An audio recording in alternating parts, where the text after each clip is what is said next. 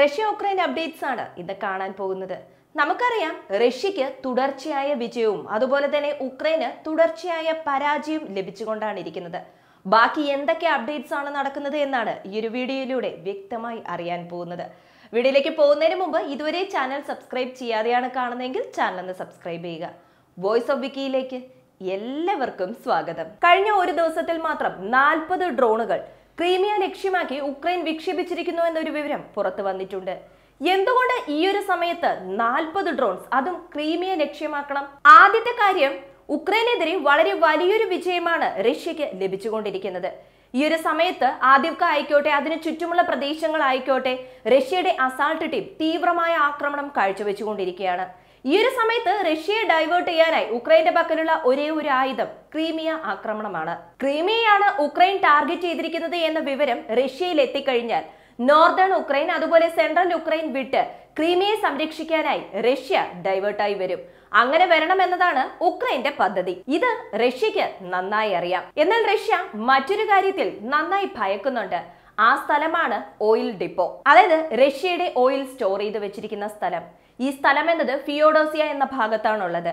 ഈ ഭാഗത്തുള്ള ഓയിൽ ഡിപ്പോയിൽ ആക്രമണം നടത്തുക എന്നത് ഉക്രൈന്റെ വലിയൊരു സ്വപ്നമായിരുന്നു. ഈ ഒരു കാര്യം റഷ്യക്കും അറിയാവുന്നത് കൊണ്ടാണോ എന്തോ ഫിയോഡോസിയയ്ക്ക് ചുറ്റുമായി അവരുടെ എയർ ഡിഫൻസ് സിസ്റ്റം റഷ്യയുടെ എയർ ഡിഫൻസ് സിസ്റ്റം ടൈറ്റ് ചെയ്ത് വെച്ചിരിക്കുകയാണ്. സോ ഫിയോഡോസിയയിലെ ഈ ഒരു ഭാഗത്ത് നാൽപ്പത് ഡ്രോണുകൾ വന്നു എന്ന് നമ്മൾ പറഞ്ഞു. അതിൽ മുപ്പത്തിയെട്ട് ഡ്രോണുകളും ഞങ്ങൾ ന്യൂട്രലൈസ് ചെയ്തുവെന്ന് റഷ്യ അറിയിച്ചിരിക്കുന്നു. മാത്രമല്ല ആ ഡ്രോണിന്റെ ശേഷിക്കുന്ന ഭാഗമെടുത്ത് റിവേഴ്സ് എഞ്ചിനീയറിംഗ് ചെയ്യാനും കൊടുത്തിട്ടുണ്ട് എന്ന് പറയുന്നുണ്ട്. ഒരു ഡ്രോണിനെ ന്യൂട്രലൈസ് ചെയ്തു എന്നത് നിസ്സാരമായ കാര്യമല്ല. ആ ഡ്രോണിനെ നശിപ്പിക്കുന്ന സമയത്ത് ഡ്രോൺ താഴെ വന്ന് പതിക്കും. താഴെ വന്ന് പതിക്കുന്ന ഭാഗത്ത് പല ആപത്തുകളും സംഭവിക്കും. അങ്ങനെ കഴിഞ്ഞ ദിവസം നടന്ന ഈ ന്യൂട്രലൈസ് ചെയ്യുന്ന ആ ഒരു സമയത്ത് ഒരു ആപത്ത് ഉണ്ടായി എന്നും അതിൽ ഒരാൾക്ക് പരിക്കേറ്റിട്ടുണ്ട് എന്ന വിവരവും പുറത്തു വന്നിട്ടുണ്ട്. റഷ്യയെ സംബന്ധിച്ച് നോക്കുകയാണെങ്കിൽ പരിക്കേറ്റ ആളായിക്കോട്ടെ അതുപോലെ തന്നെ തകർന്ന റോഡുകളായിക്കോട്ടെ പെട്ടെന്ന് തന്നെ റിപ്പയർ ചെയ്യും.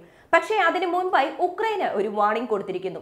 ഇനിയും ക്രീമിയക്കെതിരെ എന്തെങ്കിലും ആക്രമണം നടത്തിയാൽ ചില പ്രധാന ഭാഗങ്ങൾ ഞങ്ങളും തീവ്രമായി അറ്റാക്ക് ചെയ്യും. സോ ഉക്രൈൻ എന്ന് പറയുമ്പോൾ റഷ്യയുടെ വിജയം റഷ്യക്ക് ശേഷവും പാശ്ചാത്യ രാജ്യങ്ങൾ ഉക്രൈൻ ഇതുവരെ സഹായം ചെയ്തിട്ടില്ല എന്ന് വരുന്ന സമയത്ത് ഉക്രൈന്റെ ഭാവി എന്നത് അവിടെയുള്ള സെക്യൂരിറ്റി അഗ്രിമെന്റ് ബേസ് ചെയ്തിട്ടാണുള്ളത്. അതുകൊണ്ടാണ് ഏതൊരു സമ്മേളനം നടക്കുകയാണെന്നുണ്ടെങ്കിലും ഇറ്റലിയുമായും ഫ്രാൻസുമായും ജർമ്മനിയുമായും സെക്യൂരിറ്റി അഗ്രിമെന്റിൽ സൈൻ ചെയ്തുകൊണ്ടിരിക്കുന്നത്. പ്രധാനമായും അമേരിക്കയുടെ ഡബിൾ ഗെയിം യൂറോപ്പ് യൂണിയൻ വഴി പുറത്തു വന്നിരിക്കുന്നു. യൂറോപ്പ് യൂണിയൻ എന്ന് പറയുമ്പോൾ പ്രത്യേകിച്ച് അവരുടെ എന്തെങ്കിലും ഒരു ഡോക്യുമെന്റ് പുറത്തുള്ള മറ്റുള്ളവരിലേക്ക് എത്തണമെന്നുണ്ടെങ്കിൽ ചില പ്രത്യേക മാധ്യമങ്ങളിലേക്ക് അയക്കാറുണ്ട്. അങ്ങനെ മാധ്യമങ്ങളിലേക്ക് അയച്ച ആ ഒരു ഡോക്യുമെന്റിൽ ചില പ്രത്യേക വാർത്തകൾ കുടുങ്ങിയിരിക്കുന്നു. ഈ വാർത്ത അറിഞ്ഞപ്പോൾ മുതൽ ഉക്രൈന് ഒന്നും ചെയ്യാൻ പറ്റാത്ത അവസ്ഥയിലേക്ക് പോയിരിക്കുകയാണ്. പാശ്ചാത്യ രാജ്യങ്ങൾ ഉക്രൈനെ കൈവിടാൻ പോകുന്നു എന്ന് പലരും സംസാരിക്കാൻ ആരംഭിച്ചിരിക്കുന്നു. ആ ഒരു റിപ്പോർട്ട് എന്താണെന്ന് ചോദിക്കുകയാണെന്നുണ്ടെങ്കിൽ അടുത്ത വിന്റർ ആരംഭിക്കുന്നതിന് മുൻപ് അമേരിക്ക യൂറോപ്പ് യൂണിയൻ റഷ്യ ഈ മൂന്ന് പേർക്കും മധ്യേ ഒരു എഗ്രിമെന്റ് സൈൻ ആകാൻ പോകുന്നു. കൃത്യമായി പറയുകയാണെന്നുണ്ടെങ്കിൽ അമേരിക്കയുടെ ഗ്യാസ് ഷോർട്ടേജ് യൂറോപ്പ് യൂണിയൻ വഴി റഷ്യ സോൾവ് ചെയ്യാൻ പോകുന്നു. ഇതാണ് തലക്കെട്ട്. ഇത് തികച്ചും വ്യത്യസ്തമായ ഒരു റിപ്പോർട്ടാണ്. ഇങ്ങനെ നടക്കാൻ സാധ്യതയുണ്ടോ? അമേരിക്ക റഷ്യയെ വിശ്വസിച്ചിരിക്കുകയാണോ എന്ന അടുത്ത ചോദ്യവും ഉയരാം. ഇത് ആരും പേഴ്സണലി പറഞ്ഞ കാര്യമല്ല. ഈ ലീക്കായ അല്ലെങ്കിൽ മാധ്യമത്തിലേക്ക് അയച്ച ആ ഒരു ഡോക്യുമെന്റിൽ കൃത്യമായി പറഞ്ഞിരിക്കുന്ന കാര്യമാണ്. ഏതൊക്കെ രീതിയിലാണ് യൂറോപ്യൻ യൂണിയൻ ആവശ്യമായ ഗ്യാസ് പോയിക്കൊണ്ടിരിക്കുന്നത്? ഇപ്പോഴും റഷ്യ ഉക്രൈൻ മധ്യയുള്ള ഒരു എഗ്രിമെന്റ് വഴിയാണ് ഗ്യാസ് പൈപ്പ് ലൈൻ വഴിയാണ് ഗ്യാസ് കൈമാറിക്കൊണ്ടിരിക്കുന്നത്. രണ്ടായിരത്തി ഇരുപത്തിനാലിൽ ഈ ഗ്യാസ് എഗ്രിമെന്റ് എന്നത് എക്സ്പയർഡ് ആകും. ഇനി അഥവാ അങ്ങനെ എക്സ്പയർഡ് ആയി കഴിഞ്ഞാൽ ഉക്രൈന്റെ ഗ്യാസ് ഫീൽഡിലേക്ക് റഷ്യയുടെ ഗ്യാസ് എത്തില്ല. റഷ്യ അത് അയച്ചു കൊടുക്കില്ല. അതുകൊണ്ട് തന്നെ ഗ്യാസിന്റെ വില വർദ്ധിക്കും. അതായത് നാച്ചുറൽ ഗ്യാസിന്റെ വില വർദ്ധിക്കും. ഇത് യൂറോപ്പ് യൂണിയനിലെ എല്ലാ രാജ്യങ്ങളെയും ബാധിക്കും. രണ്ടായിരത്തി ഇരുപത്തിനാല് ജൂലൈ മാസത്തിന് ശേഷം ഗ്യാസിന്റെ വില വർദ്ധിക്കാൻ പോകുന്നു എന്ന് പറയുന്നു. ഇത് വരാനിരിക്കുന്ന വിന്ററിനെയും ബാധിക്കുമെന്ന് നമ്മൾ മനസ്സിലാക്കണം. ഇപ്പോൾ നമ്മുടെ വീട്ടിലേക്ക് ചൂട് വരുന്ന സമയത്ത് എ സി അതുപോലെ ഫാനൊക്കെ ഉപയോഗിക്കുന്നത് പോലെ വിന്റർ സീസണിന്റെ സമയത്ത് ആ വീടുകളിലെല്ലാം യൂറോപ്പ് യൂണിയൻ രാജ്യങ്ങളിലെ വീടുകളിലെല്ലാം ഹീറ്റർ ഉപയോഗിക്കാറുണ്ട്. മഞ്ഞ് പെയ്ത് തണുത്ത് മരവിച്ചിരിക്കുമ്പോഴാണ് ഈ ഹീറ്റർ ഉപയോഗിക്കുന്നത്. ഹീറ്റർ ഉപയോഗിക്കുന്ന സമയത്ത് നാച്ചുറൽ ഗ്യാസ് ആണ് അവർ ഉപയോഗിക്കുന്നത്. സോ ഇതെല്ലാം രണ്ടായിരത്തി ഇരുപത്തിനാല് ജൂലൈ മാസത്തിന് ശേഷം തലകുത്തനെ മാറും. യൂറോപ്പ് യൂണിയനിലേക്ക് ഉക്രൈനിൽ ഇരുന്ന് ഗ്യാസ് പോകുന്ന പോകുന്നു എന്നത് കണ്ടു. ഇതെല്ലാം റഷ്യ ഉക്രൈനിലേക്ക് അയക്കുന്നതാണ്. ഇതെല്ലാം ശരിക്കും സംഭവിക്കുന്നതാണോ എന്ന് ചോദിച്ചാൽ തീർച്ചയായും അതെ. റഷ്യ ഉക്രൈൻ തമ്മിലുള്ള ഈ ഒരു എഗ്രിമെന്റ് രണ്ടായിരത്തി ഇരുപത്തിനാല് ജൂലൈ മാസം അവസാനിച്ചു കഴിഞ്ഞാൽ അതിനുശേഷം യൂറോപ്പ് യൂണിയനിലേക്ക് ലഭിക്കുന്ന ഗ്യാസിൽ നിന്നും അഞ്ച് ശതമാനം കുറയും എന്ന് കണക്കുകൾ പറയുന്നു. ഓൾറെഡി ഗ്യാസ് ലഭിക്കുന്നതിൽ പല പ്രശ്നങ്ങളും നടന്നുകൊണ്ടിരിക്കുന്ന ഈ ഒരു സമയത്ത് വീണ്ടും യൂറോപ്പ് യൂണിയനിൽ ലഭിക്കുന്ന ഗ്യാസിൽ നിന്നും അഞ്ച് ശതമാനം കുറയുന്നു എന്ന് പറയുമ്പോൾ യൂറോപ്പ് യൂണിയൻ രാജ്യങ്ങളെ ഇതെല്ലാം സാരമായി ബാധിക്കും. ആ ഒരു സമയത്തും യൂറോപ്പ് യൂണിയനെ സംരക്ഷിക്കാനായി ഞങ്ങളുണ്ട് എന്ന് പറഞ്ഞ് അമേരിക്ക അവരുടെ ഡ്രാമയുമായി വരും. അതിനും ഒരു എൻ കാർഡ് കൊടുത്തതുപോലെയാകും. അങ്ങനെ അത് എൻ സ്റ്റേജിലേക്ക് വരുന്ന സമയത്ത് ഏതെങ്കിലും ബ്ലാക്ക് മാർക്കറ്റ് വഴി ഗ്യാസ് ലഭിക്കുന്നുണ്ടോ എന്ന് നോക്കി അത് വാങ്ങി അത് യൂറോപ്പ് യൂണിയനിലേക്ക് അമേരിക്ക വഴി കൊടുത്തതുപോലെയാക്കും. അതിനുവേണ്ടി ശ്രമിക്കും അമേരിക്ക. ആ സമയത്ത് ഇൻഡയറക്റ്റ് ആയി റഷ്യയുടെ ഗ്യാസ് അമേരിക്ക വാങ്ങുമെന്നതാണ് ആ ഡോക്യുമെന്റിൽ പറഞ്ഞിരിക്കുന്നത്. അത് ആർക്കും നിഷേധിക്കാൻ പറ്റില്ല. കാരണം ഇപ്പോഴും സംഭവിച്ചുകൊണ്ടിരിക്കുന്ന കാര്യമാണത്. അപ്പൊ ഇനിയും അതേപോലെ തന്നെ നടക്കുമെന്നാണ് ഡോക്യുമെന്റ് സൂചിപ്പിക്കുന്നത്. സോ എങ്ങനെ പോയാലും റഷ്യ അവരുടെ യുദ്ധം എന്ന് പറയുമ്പോൾ റഷ്യക്ക് ആവശ്യമായ പണം കൊടുക്കുന്നത് ഇതേ ഉക്രൈനെ സഹായിക്കുന്ന രാജ്യങ്ങൾ തന്നെയാണ്.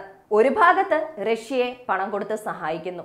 മറ്റൊരു ഭാഗത്ത് ഉക്രൈന് ഞങ്ങൾ ആവശ്യമായ സപ്പോർട്ടുകളെല്ലാം തരാമെന്നും പറഞ്ഞ് ഈ റഷ്യ ഉക്രൈൻ യുദ്ധം ഒരിക്കലും അവസാനിക്കാത്ത രീതിയിൽ പാശ്ചാത്യ രാജ്യങ്ങൾ മുന്നോട്ട് കൊണ്ടുപോയിക്കൊണ്ടിരിക്കുന്നു. അടുത്തത് നാറ്റോ. നാറ്റോ എക്സ്പാൻഷൻ ഏകദേശം കൺഫേം ആയി കഴിഞ്ഞു. സ്വീഡനും വന്നു കഴിഞ്ഞു. അങ്ങനെ വരുന്ന സമയത്ത് നാറ്റോ സേനയെ ബെലറസ് കൂടാതെ ഉക്രൈന്റെ ബോർഡറിൽ കൊണ്ട് നിർത്താൻ പോകുന്നു എന്നൊരു വിവരം പുറത്തു വന്നിട്ടുണ്ട്. സോ ഈ വിവരങ്ങളുടെ അടിസ്ഥാനത്തിൽ അവരുടെ സംരക്ഷണത്തിനായി ഒഡേസ തുറമുഖത്തിലും ഉക്രൈനിൽ നിന്നും ഈ യുദ്ധം വ്യാപിക്കാതിരിക്കാനായി ഒന്നര ലക്ഷത്തിൽ പരം സൈനികർ. ഇപ്പോൾ അവിടെ ഉക്രൈൻ സൈനികരാണ് നിൽക്കുന്നത്. പക്ഷേ ഇപ്പോൾ നിൽക്കുന്ന ആ സൈനികർ തീർച്ചയായും അടുത്തതായി റഷ്യക്കെതിരെയുള്ള യുദ്ധത്തിൽ ബാറ്റിൽ ഫീൽഡിൽ എത്തേണ്ടി വരും. സോ അപ്പോൾ നാറ്റോ അവരുടെ സേനയെ ബോർഡർ സംരക്ഷിക്കാൻ അയക്കുമെന്ന വിവരവും പുറത്തു വന്നിട്ടുണ്ട്. സോ ഇതെല്ലാം രണ്ടായിരത്തി ഇരുപത്തിനാലിൽ നടക്കും എന്നതാണ്. സോ രണ്ടായിരത്തി ഇരുപത്തിനാലിൽ യൂറോപ്പ് യൂണിയനിൽ ഗ്യാസ് പ്രോബ്ലം അത് സോൾവ് ചെയ്യാനായി അമേരിക്കയുടെ പദ്ധതി ഉക്രൈനെയും ഒഡേസ തുറമുഖത്തെയും സംരക്ഷിക്കാനുള്ള അവസാനഘട്ട പദ്ധതിയിൽ നാറ്റോ ഫോഴ്സ് പ്രവേശിക്കുമെന്ന ഈയൊരു വാർത്ത. അത് മാത്രമല്ലാതെ റഷ്യ ഉക്രൈൻ യുദ്ധം നീണ്ടു പോകാനുള്ള പണം എവിടെ നിന്നുമാണ് ലഭിക്കുന്നത് എന്ന വ്യക്തമായ കാര്യവും നമ്മൾ കണ്ടു. ഇനിയും കുറച്ച് പ്രധാനപ്പെട്ട അപ്ഡേറ്റ്സ് ഉണ്ട്. റഷ്യ കുറച്ച് പുതിയ ആയുധങ്ങൾ ഇൻട്രൊഡ്യൂസ് ചെയ്യാൻ പോകുന്നു. വളരെ പെട്ടെന്ന് തന്നെ അവരുടെ സൈന്യത്തിൽ അത് ചേർക്കാൻ പോകുന്നു എന്ന വിവരവും പുറത്തു വന്നിട്ടുണ്ട്. ഉക്രൈൻ വിക്ഷേപിച്ച പല മിസൈലുകളും ഇറാൻ റിവേഴ്സ് എഞ്ചിനീയറിംഗ് ചെയ്ത് അതിന്റെ റിപ്പോർട്ട് ഈ മാസം അവസാനിക്കുന്നതിന് മുമ്പ് ഇറാൻ റഷ്യയിലേക്ക് അയക്കുമെന്ന വാർത്തയും പുറത്തു വന്നിട്ടുണ്ട്. അങ്ങനെ ഒരു റിപ്പോർട്ട് റഷ്യയുടെ പക്കൽ ലഭിച്ചു കഴിഞ്ഞാൽ റഷ്യയും അവരുടെ സോഫ്റ്റ്വെയർ അപ്ഡേറ്റ് ചെയ്യാൻ ആരംഭിക്കും. ഇനിയും നിരവധി വാർത്തകളുണ്ട്. എല്ലാം അറിയാൻ വോയിസ് ഓഫ് വിക്കി എന്ന നമ്മുടെ ചാനൽ സബ്സ്ക്രൈബ് ചെയ്യുക. ഈ ഒരു വീഡിയോയെക്കുറിച്ചുള്ള നിങ്ങളുടെ അഭിപ്രായം മറക്കാതെ കമന്റായി ചേർക്കുക. വീഡിയോ ഇഷ്ടമാവുകയാണെങ്കിൽ ലൈക്ക് ചെയ്യുക ഷെയർ ചെയ്യുക. വീണ്ടും അടുത്ത വീഡിയോയിൽ കാണാം. നന്ദി നമസ്കാരം.